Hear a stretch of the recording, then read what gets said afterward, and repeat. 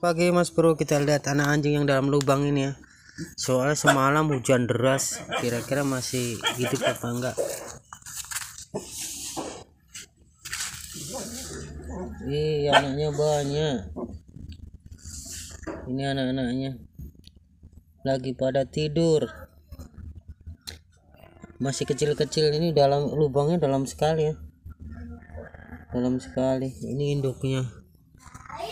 Ini induknya galak sekali deh ini. Kalau lihat orang. Ini ini anjingnya banyak sekali lagi pada anu tidur